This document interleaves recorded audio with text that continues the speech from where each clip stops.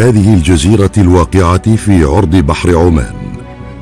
تشعر النوارس السخامية بالارتباك من ضيف الجزيرة المهاجر.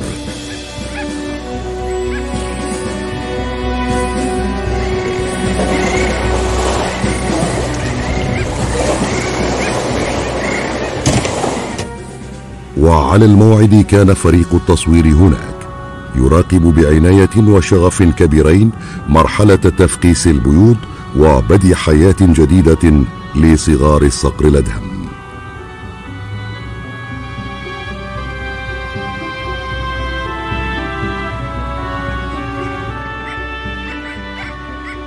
وثقنا خلالها مراحل مهمة من دورة حياة الصقر الأدهم كحضانة البيض ورعاية وإطعام الصغار.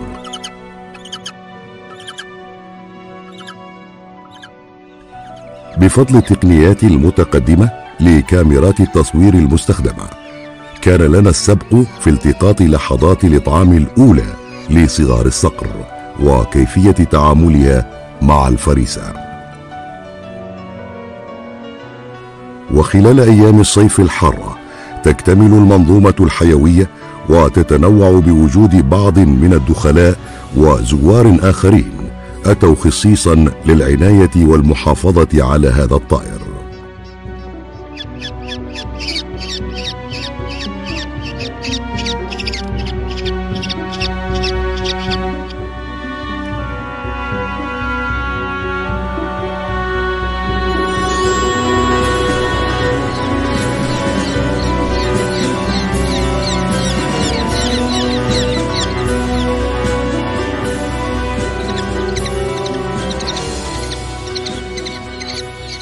بعد أربعة أسابيع تقريبا من مرحلة تفقيس البيض تبدأ رحلة الطيران الأولى على الإطلاق لصغار الصقر الأدهم.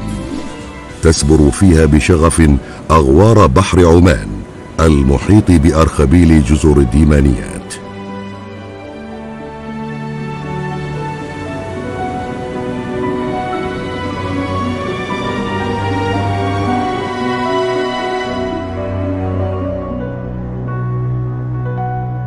هي عمان.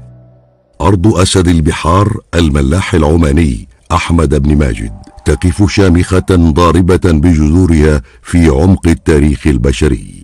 تفردت بعلاقاتها التاريخية وتاريخها المجيد مع الهند في الشرق والقارة الإفريقية في الجنوب وصولا لأدنى الشرق في الدول الآسيوية وبحر الصين ومع حضارات الجزيرة العربية في الغرب.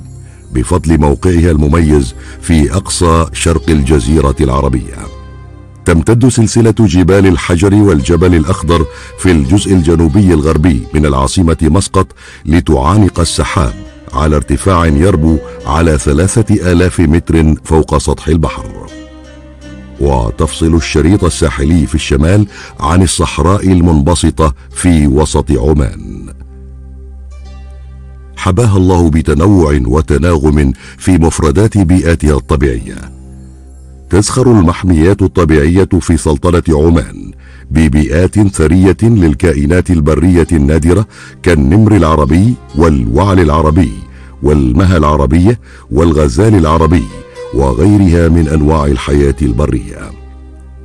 جهود السلطنة الملموسة في الحفاظ على البيئة لم تقتصر على المحميات الطبيعية للحياة البرية بل شملت تلك الجهود المحميات البحرية بثرواتها الطبيعية على السطح وفي قاع البحر بما فيها محمية جزر الديمانيات الطبيعية والأرخبيل الممتد لمسافة 20 كيلومترا في عرض بحر عمان. حيث أن بقايا الشعاب المرجانية والكائنات البحرية في المحيط القديم قبل ما يقارب من خمسين مليون سنة كونت اللبنات الأولى لصخور الحجر الجيري. كما أن القوى التكتونية ودلائل التراكيب الجيولوجية كالطيات والتشوهات الصخرية على الصخور المحيطة خير شاهد على عمليات الرفع. فإن سلطنة عمان تعد كتابا مفتوحا وتاريخا حافلا بما يربو على 800 مليون عام. وفي المجمل فإن قوى الطبيعة عبر الدهور والأحقاب الجيولوجية البائدة متحدة مع عوامل النحت والتعرية للرياح والبحر قد شكلت هذه الجزر التي نراها أمامنا اليوم.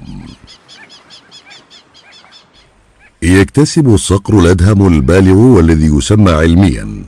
فالكو كونكولار اسمه من ريشه المتجانس ذي اللون الأزرق الداكن.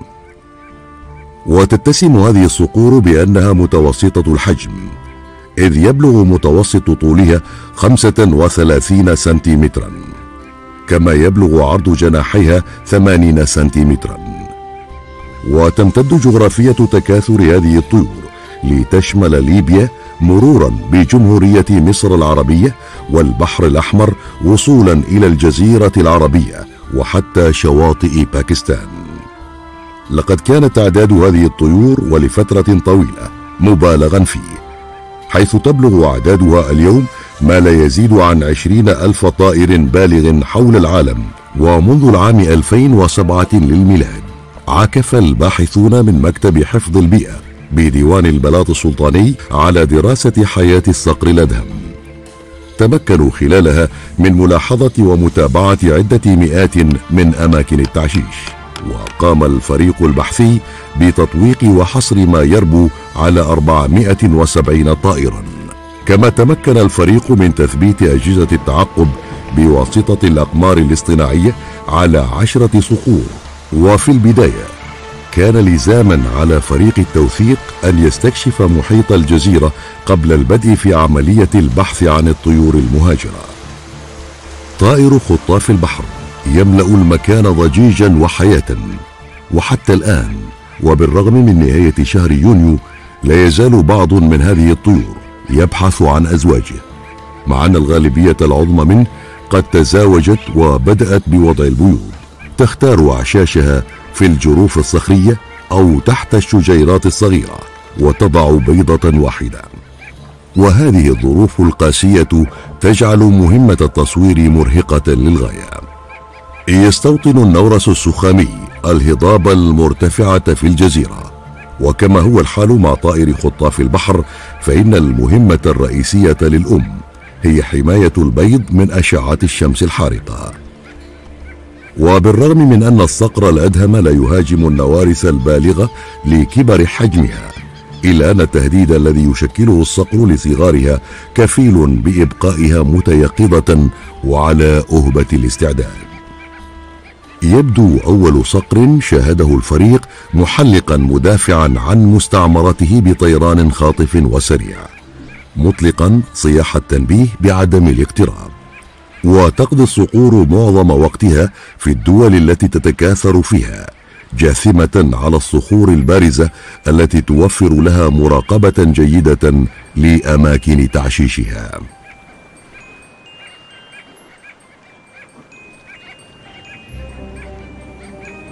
يسدل الليل أثوابه على الجزيرة ويجثم ذكر طائر خطاف البحر متربعا فوق الشجيرة التي تحتضن أنثاه تحتها البيض.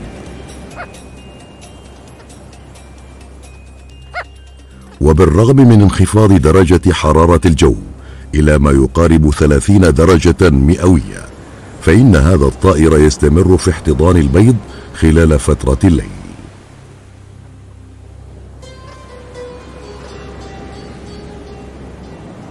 وعلى ضوء القمر تبدو على الشاطئ الرملي أكوام هرمية غامضة سنكشف سرها لاحقا.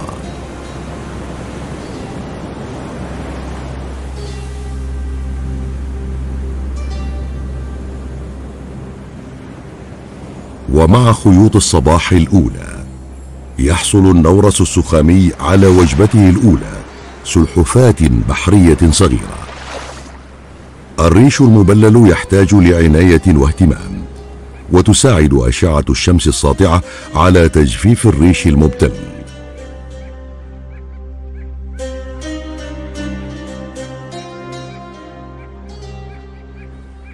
إنها أوائل شهر يوليو وقد تزاوجت طيور الصقر الأدهم في معظم جزر أرخبيل جزر الديمانيات وتشير الدراسات والأبحاث إلى احتمالية بقاء معظم أزواج الصقر الأدهم مع بعضها حتى موت أحدها.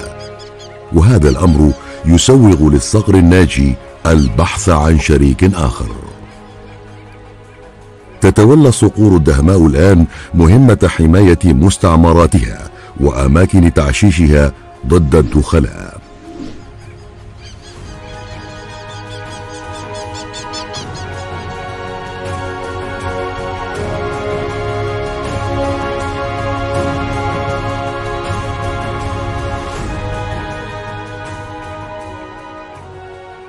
تهتم أنثى الصقر بمظهرها قبل بدء مرحلة وضع البيض وبدء مرحلة الرعاية المستمرة للصغار.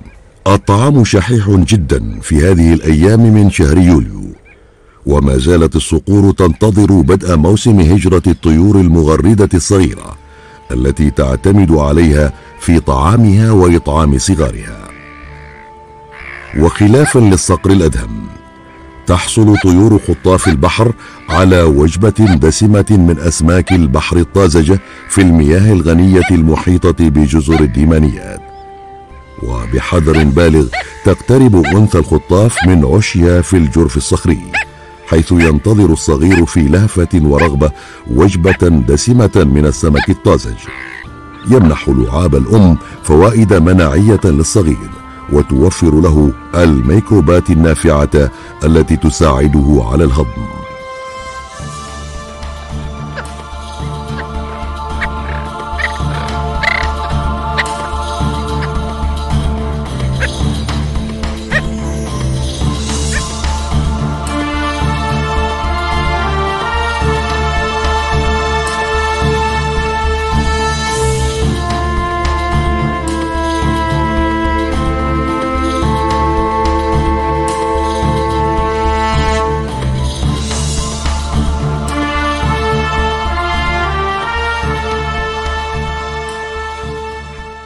في أواخر شهر يوليو يلاحظ الفريق تردد أنثى الصقر مرارا على أحد الكهوف الصغيرة.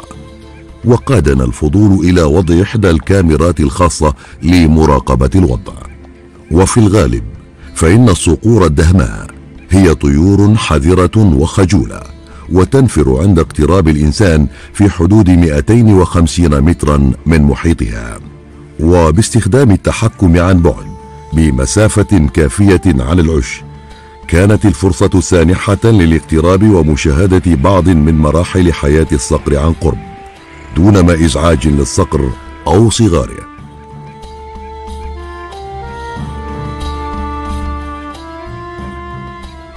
على شاشة التحكم تمكنا من مشاهدة ثلاث بيضات والأم تحرسها بعناية شديدة.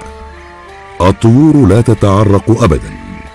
بيد أن عملية اللهاث هي عملية تبريد طبيعية لجسد الصقر. هذه الأيام تبلغ درجة الحرارة خلال النهار ما يقارب خمسين درجة مئوية.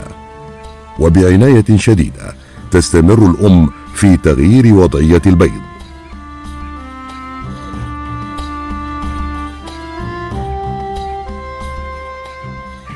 تهتم أنثى الصقر في ترتيب وتنظيف العش من الفضلات. يتراءى من بعيد قارب صغير وبالرغم من بعده إلا أن الصقر يبدو في حالة تأهب قصوى متخوفا ربما من نيات هؤلاء الغرباء إلا أنهم بالتأكيد قد أتوا للعناية بالصقر الأدهم.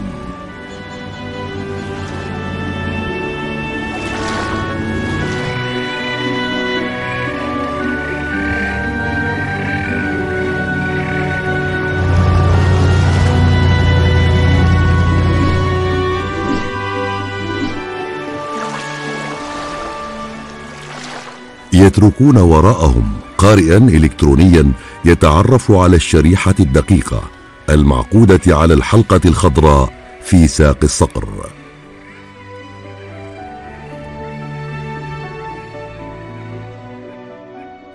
وبمجرد أن يخطو الصقر فوق القارئ الإلكتروني يستقرئ الباحثون كل المعلومات المسجلة عن هوية الصقر.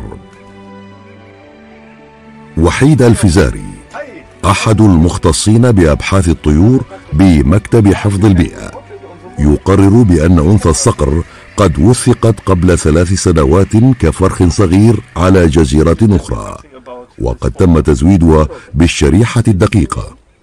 والأمر المثير أنها قد غيرت مستعمرتها ووضعت بيضها في جزيرة جديدة. الدكتور منصور الجهضمي رئيس فريق البحث يتطرق للأهمية الكبيرة لقواعد البيانات وكيفية استخدامها لدراسة بيئات الصقر الأدهم وتعزيز جهود المحافظة عليه. ويشير إلى أن الصقور تستوطن مستعمرة بعينها عاما بعد عام ولكنها قد تغير أماكن التعشيش في نفس الموقع. إضافة إلى أرخبيل جزر الديمانيات المثير للاهتمام. قرر الفريق الانتقال إلى مستوطنة أخرى لتعشيش الصقر الأدهم. هي إحدى جزر بحر عمان المميزة والقريبة من العاصمة مسقط. إنها جزيرة الفحل بحوافها الصخرية الجيرية شديدة الانحدار. تبدو مهمة النزول على الجزيرة شاقة وخطرة. إذ يستلزم الأمر القفز من سطح القارب على الصخور المدببة مباشرة. ومن المهم التزود بكميات كافية من مياه الشرب كما أن أماكن الاستظلال نادرة الوجود على سطح الجزيرة. تضاريس سطح جزيرة الفحل. حق لنا أن نشبهها بتضاريس القمر. مماثلة لتلك التضاريس في جزر الديمانيات ولكنها أكثر قسوة وصعوبة في الوصول. ولهذا السبب تستقطب جزيرة الفحل أعدادا كبيرة من الصقور التي تفضل التعشيش هنا. وخلال وجودنا على الجزيرة كان بمعيتنا العديد من الصقور البالغة التي تحلق في سماء الجزيرة. وحالفنا الحظ في إيجاد عش ملائم قد فرخ بعض بيوضه ووضعنا كاميرا المراقبة هناك. وكما شاهدنا قبل عدة أيام مع طائر خطاف البحر فإن هذه الصقور الصغيرة التي لا تتجاوز أعمارها عدة ساعات تستفيد كذلك من اللعاب المنقول لها من الأم. وتتوافق فترة تكاثر الصقر الأدهم مع فترة هجرة بعض الطيور الصغيرة بنهاية شهر أغسطس وبداية شهر سبتمبر. وتعبر أعداد كبيرة من هذه الطيور على الجزر في طريق هجرتها من أوراسيا إلى أفريقيا.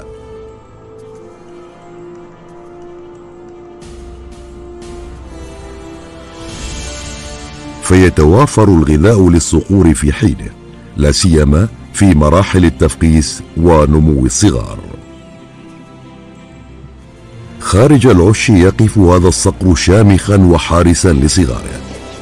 ونظرا لكثافة التعشيش للعديد من الصقور على جزيرة الفحل. توقعنا مشاهدة تفاعلات عدوانية أكثر تواترا بين أزواج الصقور. إلا أنه في مثل هذا التزاحم الشديد فضل الجيران أن يكونوا أكثر تسامحا عوضا عن إهدار طاقتها في قتال على حماية المستعمرات دون ما داعي.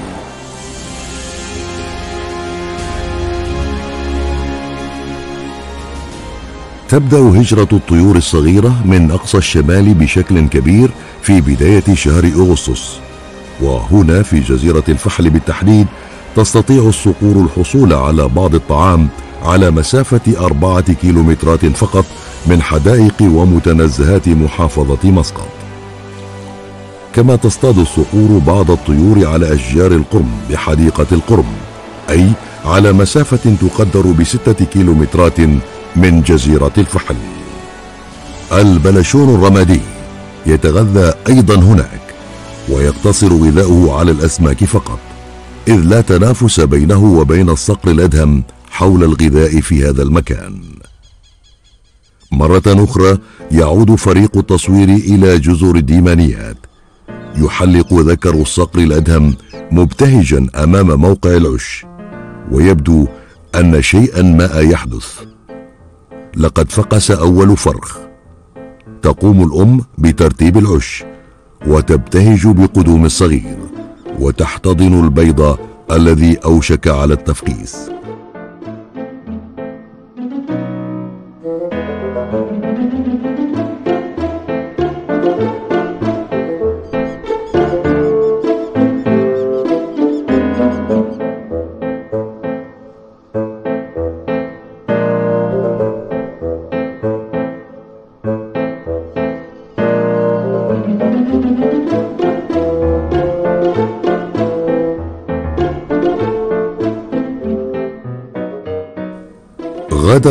أنثى الصقر العش مجددا تلك إشارة واضحة أن بيضة أخرى قد فقست.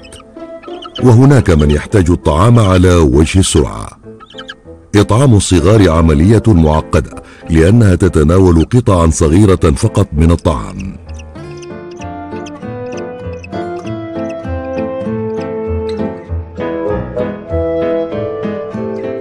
فترة من الراحة تلقي فضلات الطعام خارج العش. وأخيرا فقست البيضة الثالثة. وصل الأب أخيرا ليأخذ دوره في العناية بالصغار. بينما تستغل الأم وقت راحتها المستحق في تنظيف مخالبها وريشها. يا للمفاجأة يتعثر الأب بالكاد وطأ أحد الصيصان الصغار. بينما تواصل الأم عملية تنظيف المخالب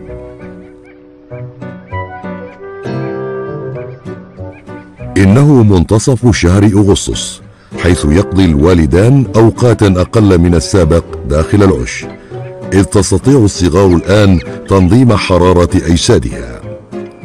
ولا يزال الصقر الأكبر يواجه صعوبة في الوقوف والمحافظة على توازنه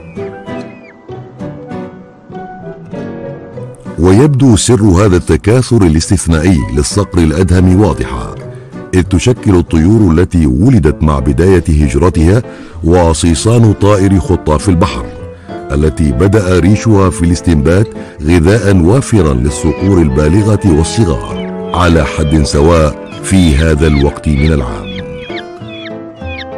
طعام طازج آخر يجلب إلى العش. ولكن فيما يبدو أن الصغار قد أخذت كفايتها لهذا اليوم. تقوم بعدها الأم بأخذ حصتها من الطعام. وفي هذه المرحلة يبدأ الصغار باللهو داخل العش.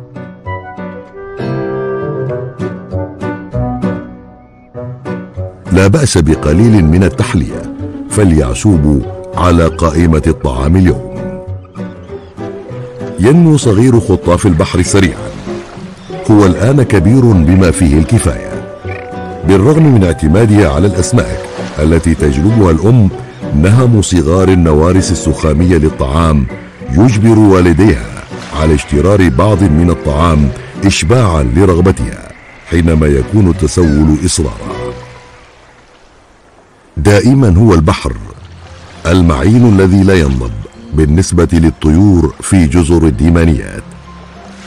بينما توفر الشعاب المرجانية المختلفة المحيطة بجزر الديمانيات بيئة خصبة تدعم النظام الغذائي لعدد من أنواع الكائنات البحرية. وهناك تحت سطح الماء عالم ساحر آخر ينبض بالحياة.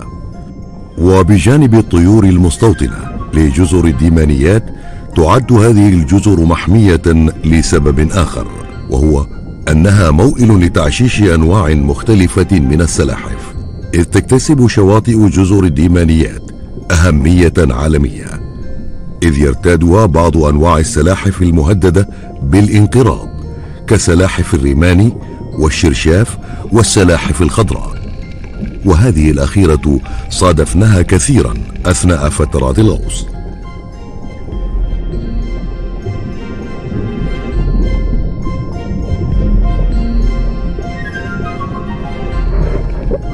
في مناطق المد والجزر. صادفنا نوعا من الأسماك. يمكنها البقاء فترات قصيرة خارج الماء. واعتمادا على زعانفها القوية.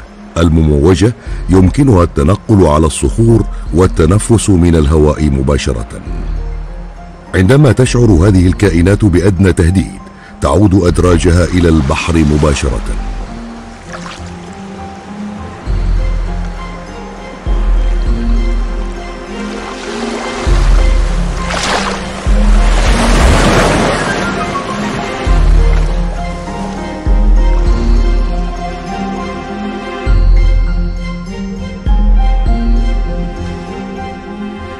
ونعود الآن مجددا لتناول موضوع الأكوام الرملية الهرمية الشكل. يقوم ذكر سرطان الشبح ببناء هذه الأكوام الهرمية لاستمالة الأنثى خلال مواسم التزاوج فقط.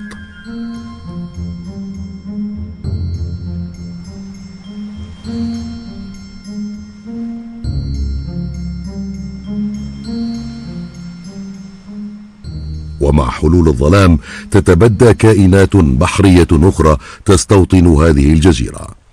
إذ يمكن مشاهدة السرطان الصدفي وكائنات غريبة أخرى أشبه بالصخور المتحركة وهي نوع من الحلزونيات الليلية. أكسبها الخالق المبدع هذا الشكل لتمويه أعدائها.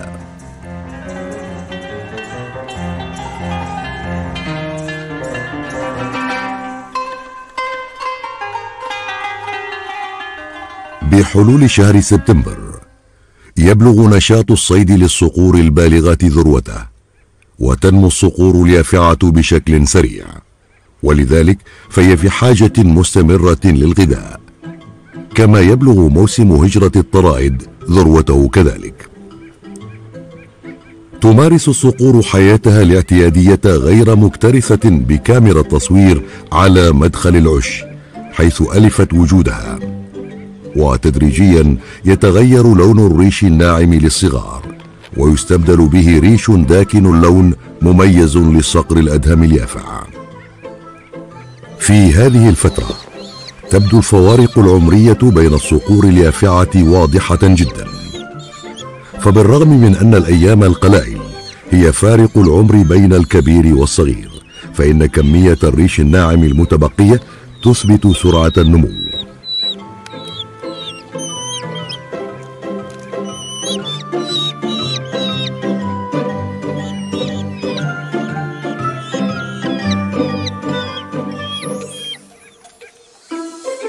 في الوقت الذي ألفت فيه الصقور وجود الكاميرا وأمست جزءا من بيئتها الطبيعية.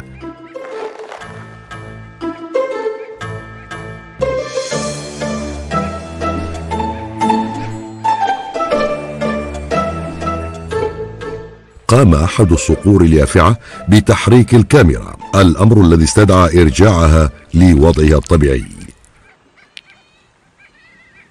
ومجددا يعود فريق البحث لتركيب الحلقات الخضراء التي تحوي الشريحة الدقيقة التي يمكن قراءتها بالقارئ الإلكتروني.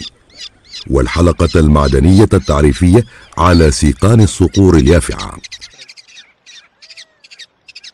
إضافة إلى بعض الفحوصات والقياسات اللازمة. 17.2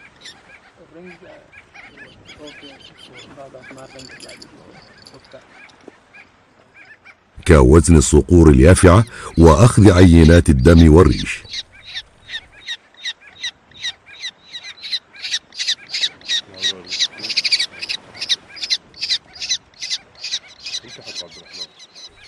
ويوضح الدكتور منصور الجهضمي أن عينات الدم والريش تستخدم في تحديد جنس الطائر إذ لا يمكن التكهن بجنس الطائر بمجرد النظر أو القياسات الفيزيائية في الميدان.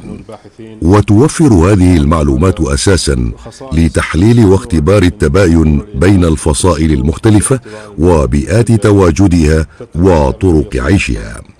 وتحوي قواعد البيانات الرقمية التي يعكف الباحثون على رفضها بيانات مهمة حول مواقع التعشيش وأجناس الطيور وتكاثرها والمتغيرات الأخرى التي تسهم في جهود المحافظة على الصقر الأدهم.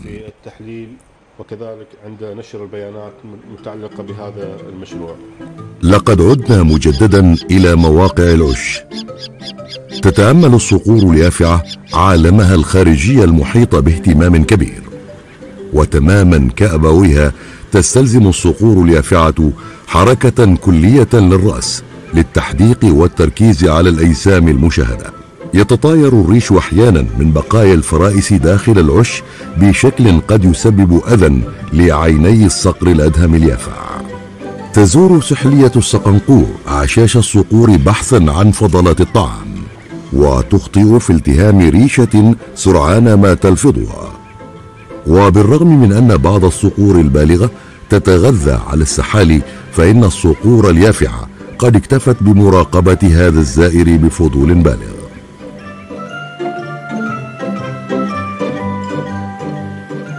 يمزج الفرخ الكبير بين اللهو والأكل في آن واحد.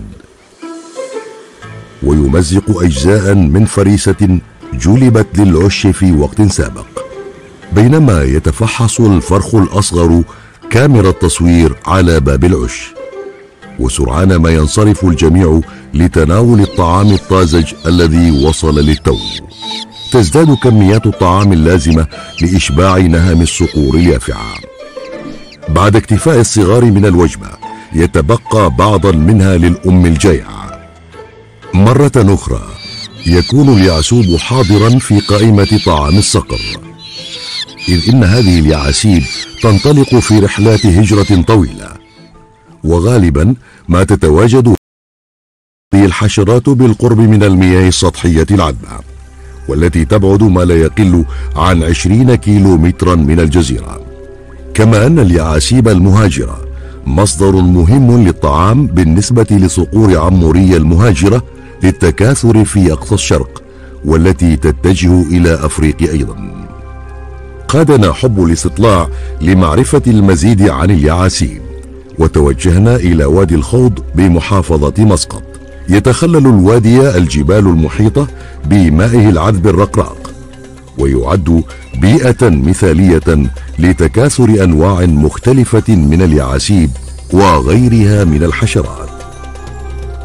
المساء في محافظة مسقط صاخب ونابض بالحياة. ولا بد لفريق التصوير من العودة سريعا إلى الجزيرة لمراقبة العش خلال فترة الليل.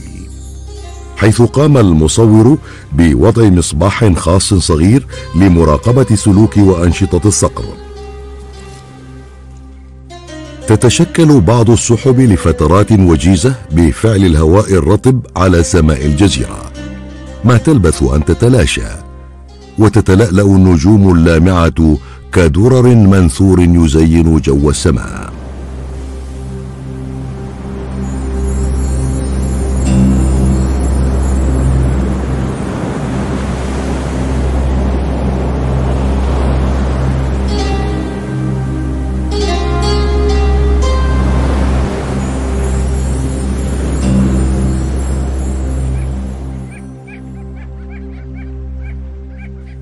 إنه وقت الصباح. وقد حان موعد وجبة الإفطار. هذه القضمة الصغيرة هي مجرد بداية لفتح الشهية.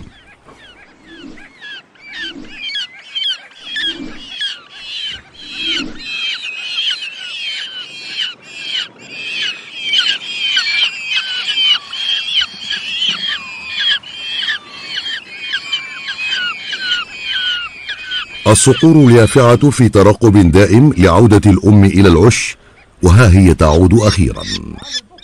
وفي هذا الوقت يعود الباحثون من مكتب حفظ البيئة إلى موقع العش مجددا. لقد اختاروا الفرخ الأكبر هذه المرة وها هم يقومون بتثبيت مستشعر يعمل بالطاقة الشمسية. يثبتونه على جسم الصقر بحيث لا يعيق حركته أثناء الطيران. وبالقرب من عش الصقر هناك مستعمرة كبيرة لطيور خطاف البحر المتوج وقد فرخ فيها الكثير من البيوض.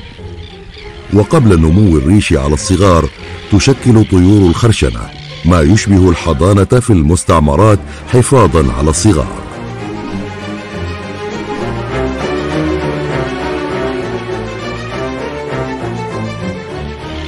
وهذا بحد ذاته وسيلة جيدة للدفاع ضد الطيور المفترسة. ولكن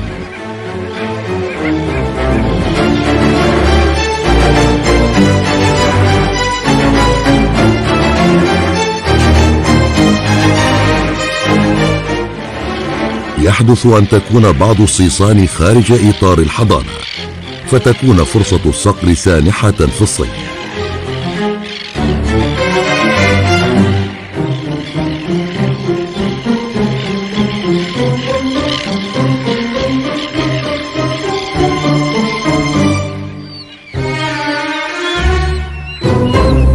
بمجرد انصراف الباحثين من الموقع تكون وجبة الغذاء حاضرة للصغار. الأب بدوره يقوم بإحضار الفريسة كذلك وتنزوي الأم لإطعام الصغار في داخل الكهف. وبعد الوجبة الدسمة تمارس الصقور اليافعة أنشطتها المعتادة فتقوم بخطف أجزاء من الفريسة أو استكشاف مستشعر الجهاز البارز من ظهر أحد الصغار. وفي المجمل فإن هذه الحركة الدؤوبة كفيلة بتمرين عضلات جسم الصقور اليافعة. في هذه الأثناء تأقلمت الصقور اليافعة بشكل كبير مع وجود فريق التصوير. فها هي تجثم على معدات وآلات التصوير وتستطلع عالما غير العش الذي ولدت فيه.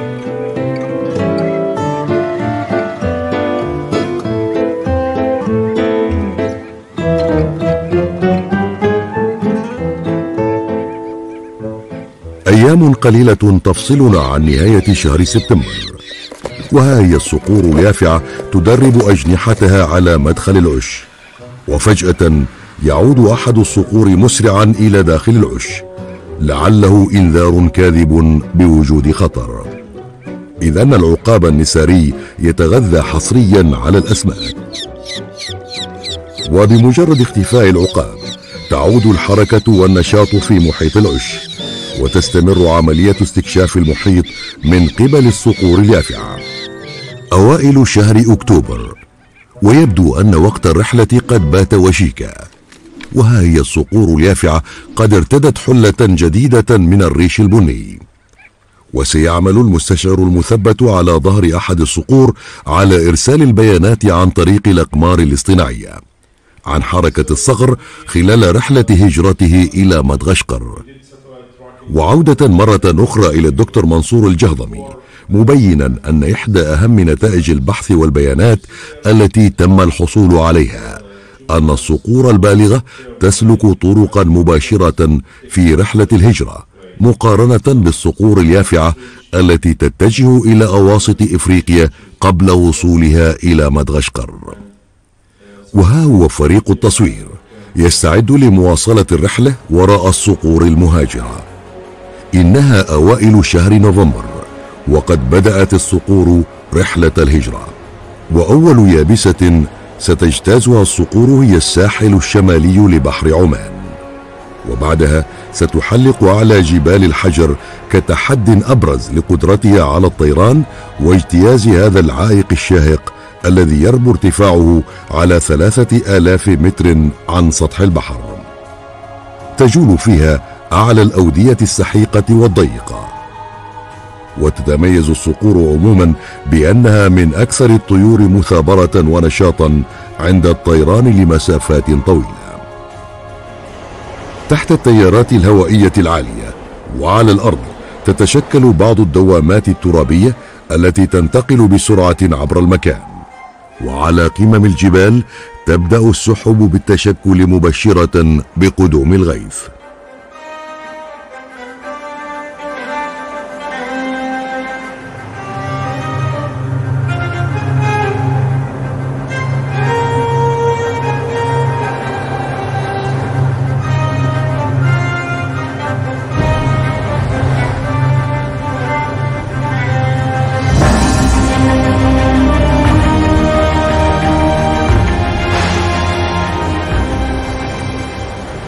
العواصف المطيرة غالبا ما تكون قصيرة ولكنها عنيفة فخلال دقائق معدودة تسيل الأودية وتمتلي وتنحدر الشلالات من أعلى المنحدرات الجبلية. وتنعم الواحات بسقيا السماء وتستبشر بساتين النخيل بفيض الخير.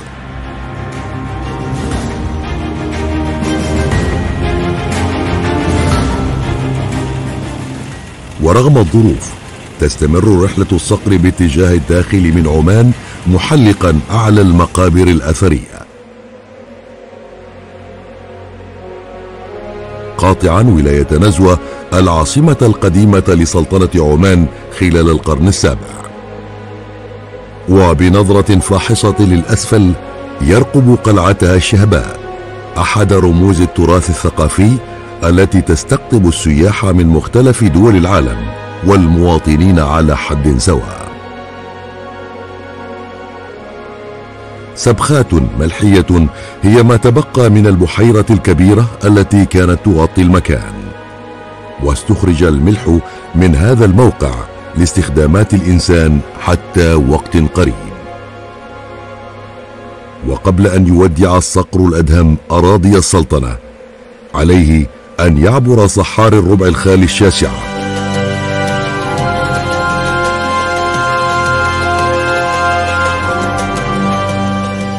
هذه أشجار الحمض أو ما يسمى محليا بالثرمد تخزن المياه والعصارة في أوراقها الممتلئة بينما يبدو بعض الأشجار ذابله فظروف الحياة هنا قاسية جدا. وفقا لنتائج تعقب مسار هجرة الصقر الأدهم عبر الأقمار الصناعية تتحرك الصقور اليافعة في اتجاه البحر الأحمر غربا. لقد قطعت ما يقارب من ألفي كيلو متر منذ بدأت رحلتها حتى الآن. أما الصقور البالغة فتسلك مسارا أكثر استقامة ويتجه معظمها إلى إثيوبيا والتي هي وجهتها القادمة. سنقصد خلالها منطقة بحيرة تانا يبدو الصقر منشغلا بتنظيف ريشه خلال التحليق.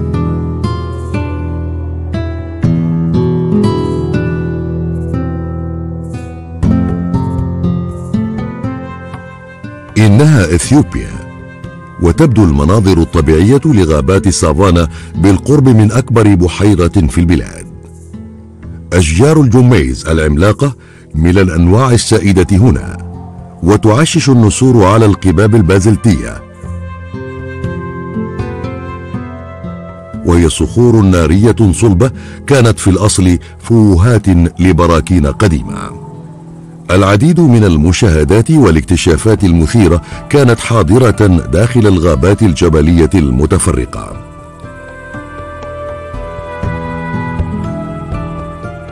شاهدنا العنكبوت السام ذا الوجه الجمجمي الباسم.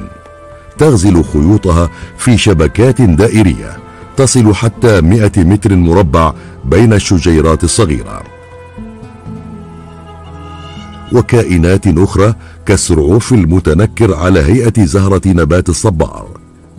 قرود الفيرفيت تتنقل بين الأغصان وتمرح مع صغارها في أعالي الشجر.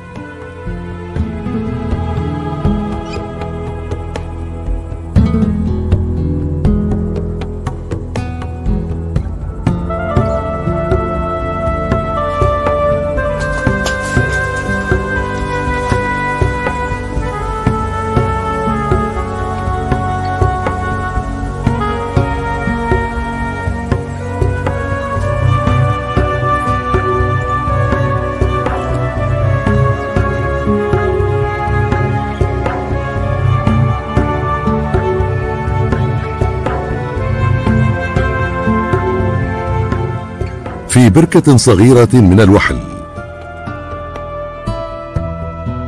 يبدو اللقلق أصفر المنقار منهمكا في البحث عن طعامه. وترجع فصيلة هذه الطيور إلى عائلة أبو منجل. بحيرة تانا هي منبع النيل الأزرق. وخلال توغلنا على ضفاف البحيرة شاهدنا نوعا من الأوز السام. وهي واحدة من عدد قليل من الطيور السامة حول العالم.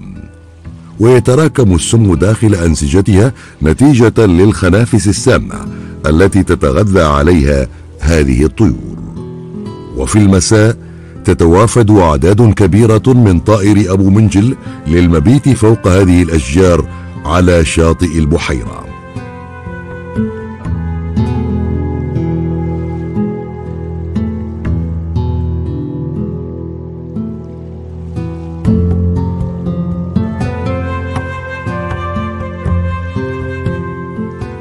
تغادر طيور أبو منجل أوكارها في الصباح الباكر.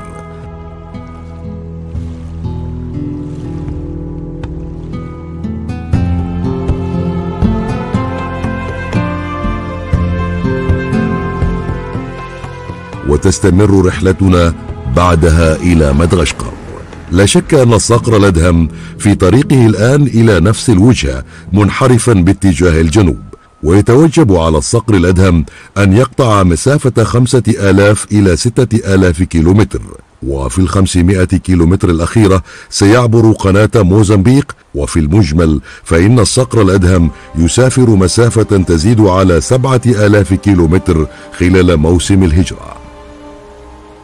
مدغشقر كانت في يوم من الأيام زاخرة بالغابات الغناء. لم يتبقى منها سوى أقل من عشر المساحة فقط.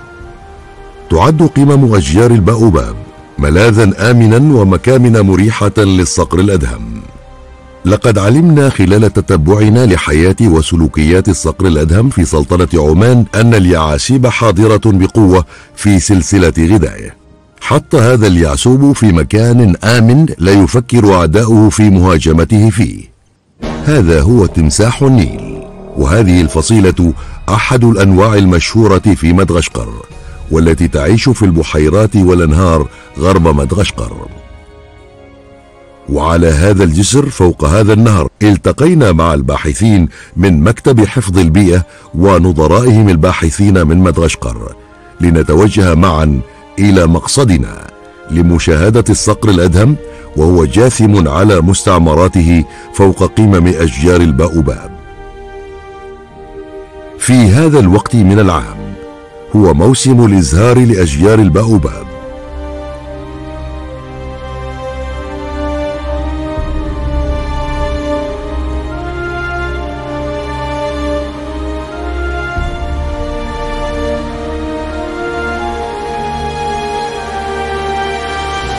إذا ما هو الدافع لهجرة الصقر الأدهم كل عام؟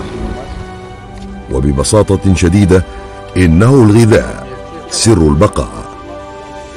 ففي أواخر الخريف عندما تغادر الصقور أماكن تكاثرها تشح موارد الغذاء خصوصا مع تراجع هجرة الطيور الصغيرة أحد أهم موارد الغذاء للصقر الأدهم.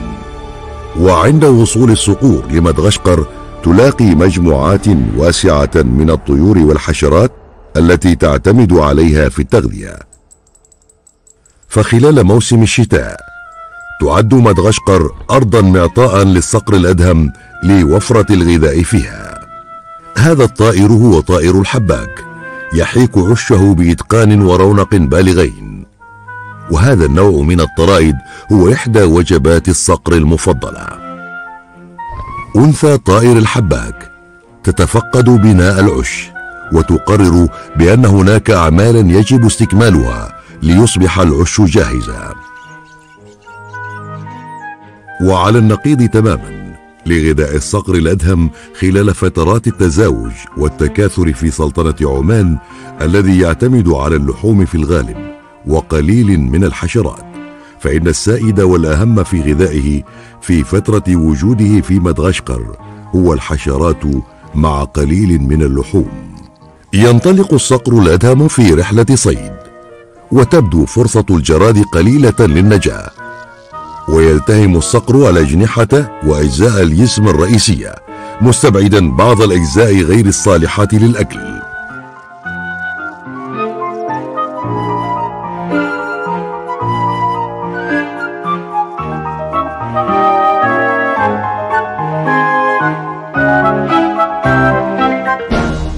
كما يقع بعض الجراد فريسة في الشبكة العنكبوتية الذهبية للعناكب العملاقة أوريب ويفر.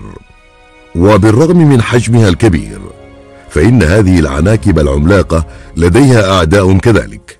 فمثلا حرباء النمر وغيرها من السحالي هي عدو متربص بالعناكب. وعند استشعار الخطر يقوم العنكبوت العملاق بهز الشبكة بعنف لإبعاد الأعداء وعدم تشجيع الحيوانات المفترسة على الاقتراب في هذه الأثناء يبدأ الباحثون من مكتب حفظ البيئة عملهم الميداني. إنهم يقومون بمسح تعداد الصقر الأدهم ويحددون بدقة بالغة الحجم والعمر لفئات الصقور. هذه المعلومات أمر بالغ الأهمية لصون الصقر ومراقبة ورصد اتجاهاته المعيشية.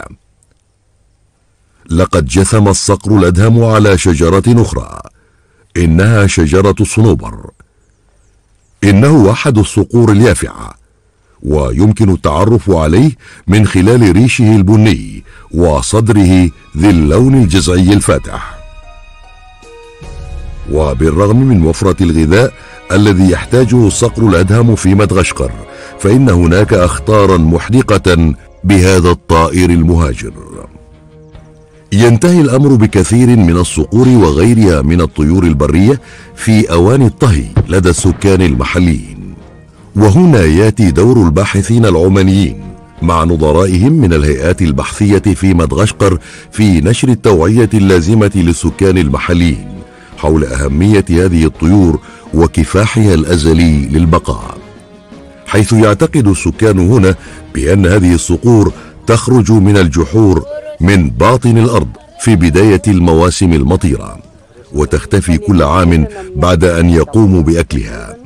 كما يطلق محليا على طيور الصقر الأدهم مروى سعر التي تعني الطائر جالب المطر.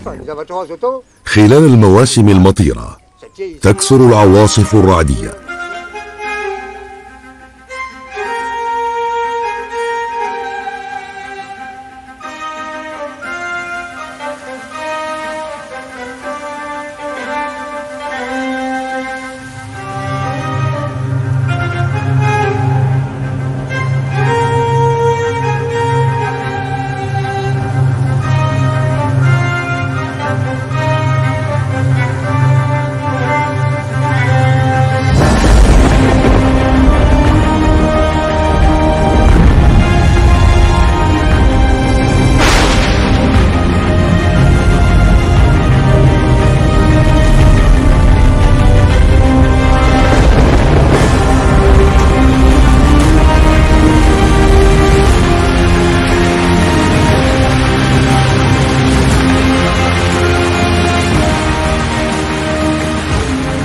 ويبحث العنكبوت النمر عن مأوى يقيه شدة المطر بينما تستمتع الصقور بزخات المطر الباردة.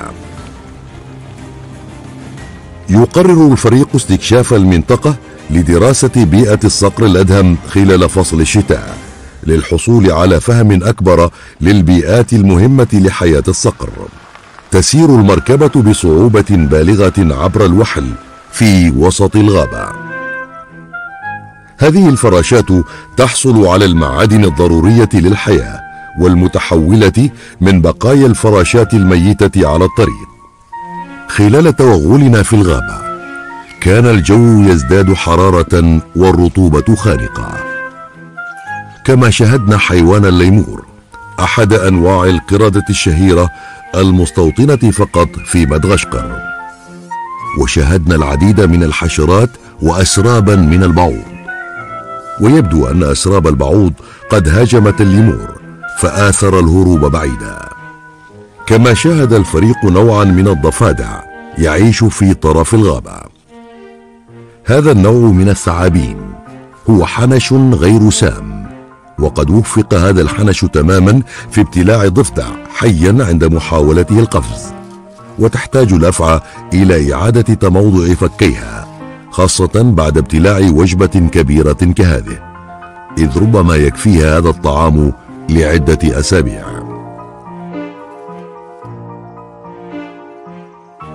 عودة إلى أشجار الباوباب العملاقة لفت انتباهنا باشق مدغشقر الذي أبدى اهتماما بعش الطائر الحباك لعله يجد طعاما.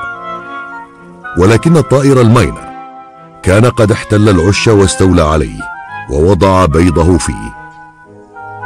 يهاجم طائر المينا باشق مدغشقر بشراسة كبيرة بالرغم من علمه من حتمية تفوق باشق مدغشقر في هذا العراق.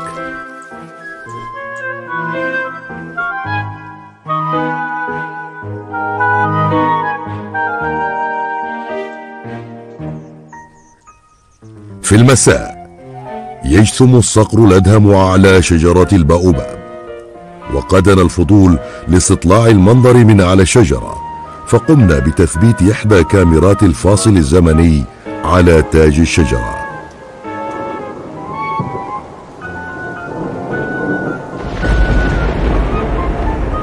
يدوي الرعد عاليا حتى وقت متأخر من الليل.